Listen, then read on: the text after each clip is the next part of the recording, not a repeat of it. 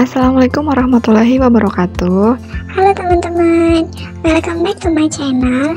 Balik lagi bersama aku di Marina Channel. Jadi di video kali ini aku akan membahas materi biologi tentang ekosistem Nah, sebelum kita masuk ke materi, jangan lupa like dan subscribe video ini supaya kalian bisa update terus video dari channel ini dan teman-teman boleh komen di bawah kalian mau dibuatin video apa atau kalian ada saran-saran mengenai channel ini.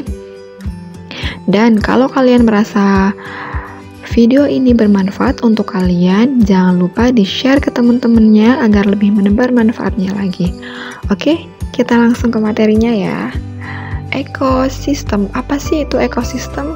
Nah, teman-teman, ekosistem itu merupakan kesatuan fungsional antara makhluk hidup dengan lingkungannya yang membentuk hubungan timbal balik, berketergantungan, dan saling mempengaruhi.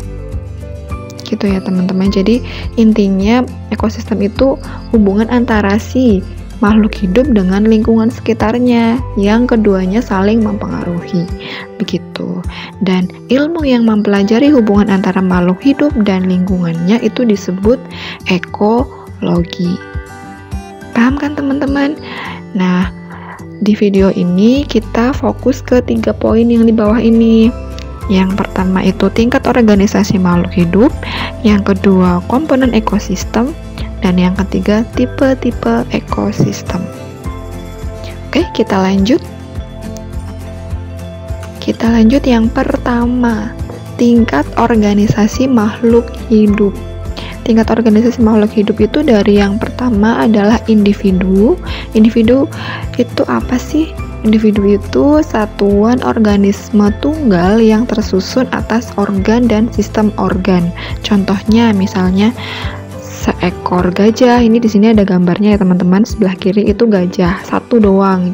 Berarti dia individu, seekor gajah, seorang manusia, seekor semut, seekor nyamuk gitu ya. Jadi satuan. Jadi satu satu pop satu doang gitu ya.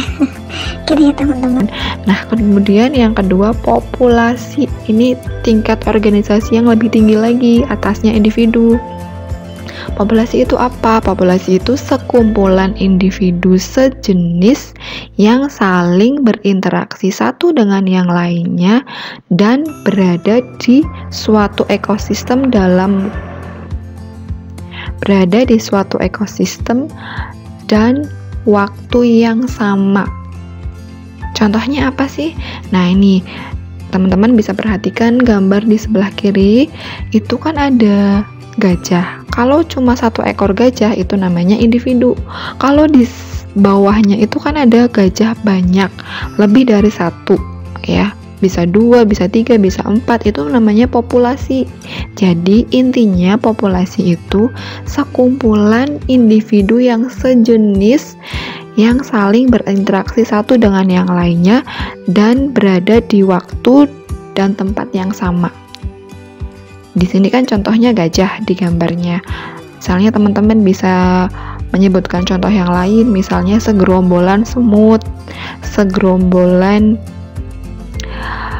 beruang, segerombolan ayam gitu ya, sekumpulan burung gitu. Jadi individu yang lebih dari satu gitu dan dia di waktu dan tempat yang sama.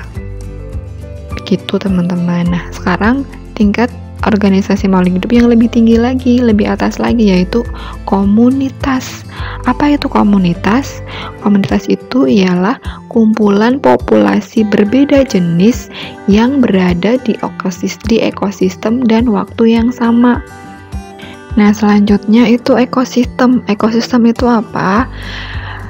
Yaitu komunitas alami tumbuh dan tumbuhan dan hewan yang saling berinteraksi dengan lingkungan abiotiknya dalam suatu sistem regulasi tersendiri. Sedangkan bioma, bioma adalah ekosistem daratan luas yang digolongkan berdasarkan vegetasi dominan di wilayah tersebut seperti taiga, tundra, padang rumput, atau gurun. Vegetasi teman-teman tahu kan, vegetasi adalah keseluruhan komunitas tumbuhan yang ada di tempat tersebut atau di suatu wilayah tertentu. Seperti itu. Nah, di sini ada contohnya di gambarnya teman-teman bisa memperhatikan yaitu misalnya bioma padang rumput. Di situ kan vegetasi dominannya itu rumput makanya disebut bioma padang rumput. Kemudian bioma tundra, bioma hutan gugur, bioma gurun, bioma hujan hutan hujan tropis, bioma taiga dan lain sebagainya. Begitu teman-teman. Nah, sekarang kita masuk ke komponen ekosistem. Komponen ekosistem itu ada dua, komponen biotik dan komponen abiotik. Nah, kita Lihat yang pertama dulu ya teman-teman. Yang pertama itu komponen biotik. Apa itu komponen biotik? Segala sesuatu yang hidup di sebuah wilayah disebut sebagai komponen biotik. Jadi biotik itu yang hidup, semua makhluk hidup itu disebut biotik. Nah, berdasarkan pengertian ini, komponen biotik itu terdiri atas makhluk hidup seperti tumbuhan, hewan, manusia, fungi, monera, bakteri, pokoknya semua makhluk hidup itu namanya biotik gitu. Nah, sekarang yang kedua komponen abiotik. A itu tidak atau tidak hidup gitu ya. Atau bisa disebut juga komponen benda mati gitu. Nah, komponen abiotik itu merupakan bagian ekosistem yang terdiri atas faktor kimia dan fisika non hidup atau benda mati di dalam lingkungan yang mempengaruhi makhluk hidup. Jadi kalau yang tidak mempengaruhi makhluk hidup ya berarti bukan komponen abiotik gitu ya. Nah, beberapa faktor abiotik adalah ada angin, sinar matahari, air, tanah, tekanan udara, suhu, iklim, cuaca dan sebagainya. Begitu teman-teman. Paham ya teman-teman? Oke, next.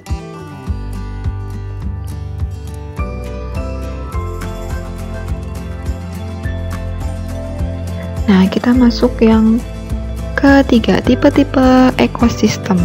Ekosistem itu terdiri dari empat. Ekosistem laut, ekosistem air tawar, ekosistem darat, dan ekosistem estuaria. Nah, langsung saja kita ke yang pertama, ekosistem darat. Ekosistem darat itu kalau di Indonesia itu terkenal dengan tiga ekosistem darat alami, yaitu ekosistem vegetasi, dataran rendah atau vegetasi pamah, vegetasi pegunungan atau ekosistem paguna dan hutan musim atau vegetasi monsun. Gitu ya. Jadi semua yang di darat itu disebut sebagai ekosistem darat atau ekosistem daratan.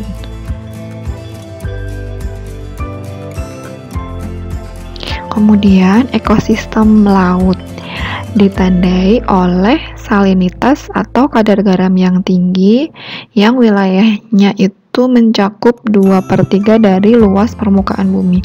Jadi seperti yang teman-teman tahu lautnya laut itu kan lebih luas daripada daratan. Jadi ekosistem laut itu semua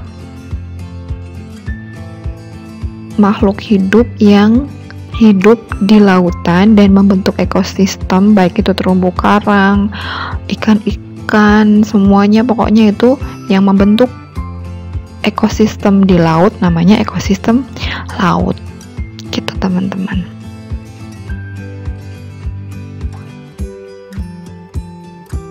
Kemudian ekosistem air tawar dengan ciri-ciri perubahan suhu yang tidak mencolok dengan penetrasi sinar matahari yang kurang. Dan di sini ada beberapa contohnya. Yang pertama ada danau, kolam, sungai, dan rawa. Karena ekosistem air tawar otomatis airnya tawar. Gitu teman-teman. Dan banyakkan di daratan atau jauh dari laut. Oke kita lanjutkan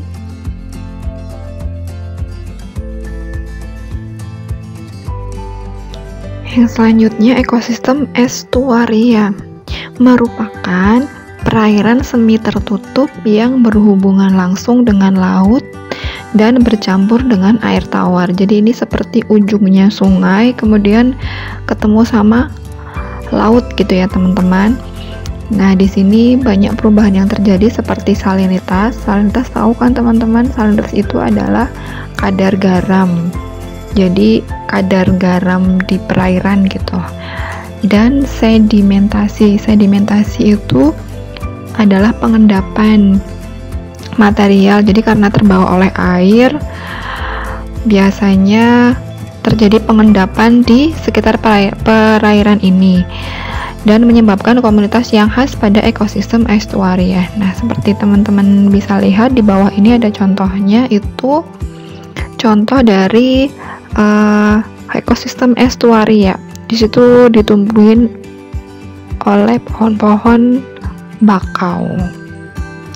Nah, teman-teman, setelah kita mempelajari tentang ekosistem dan komponen penyusunnya, kita jadi lebih tahu bahwa semuanya itu adalah karunia ciptaan dari Allah. Maka dari itu, kita sebagai makhluknya wajib bersyukur dan tidak lupa juga untuk menjaga kelestariannya termasuk ekosistem terumbu karang dan ekosistem yang lainnya. Gitu ya, teman-teman. Nah, di sini ada PR nih, teman-teman. PR-nya apa? Apa saja sih peran kelestarian ekosistem bagi kehidupan kita? Gitu. Nah, teman-teman bisa menuliskan jawabannya di kolom komentar di bawah. Nah, jadi sampai di sini dulu ya video kali ini. Terima kasih sudah menonton. Thank you for watching. See you next video and bye. Assalamualaikum warahmatullahi wabarakatuh.